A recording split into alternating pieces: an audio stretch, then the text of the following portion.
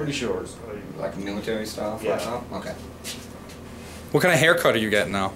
Flat top. Straight up flat top? Yep. No. No. Do you have an appointment? No, I don't. Um, let's see, I, I got a guy coming in at 2. You got appointments too, right? If you want I, to. I, I'm actually off because Oh, you're because you gotta do the Paul thing. If you want to give me about Yeah. 30 minutes or so? Yeah, go for it. Alright. Right. So you said you do about what, 10 to 15 haircuts a day? Um, roughly, I mean, I've done, I've gone a day where I've only done one haircut. One? Oh, that's gotta suck. You know, I mean, it's, it's hit or miss. Some days.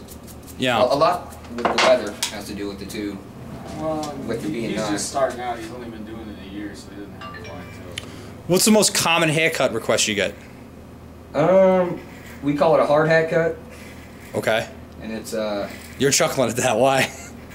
uh oh well, it's just what I mean. It's Is it, is it like a on the fade? Side, fi- no, it's just short on the side, finger length on top, wash and wear. You know, guys don't want to Yeah. fuss. Yeah. We just call it a hard hat cut because a lot of the miners get it So how many of your customers would you say are miners? a lot. All, all of them?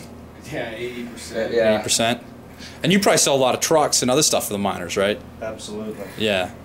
Business must be booming with the, the mines out there. It's Uh, it's kind of hit or miss. Uh, when we can get our advertising to the locals to work right, a lot of people seem to think that uh, you can get a better deal by going out of town, which is just silly, but perception is reality. well, where else would you go? No with disrespect Uh, to Elko people- or anything. A lot of people go to Salt Lake or clear Twin to Falls, Twin. Falls. You know?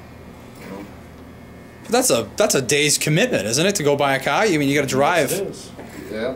There's more competition out there. Is it? But is the tax climate here more favorable to that or no?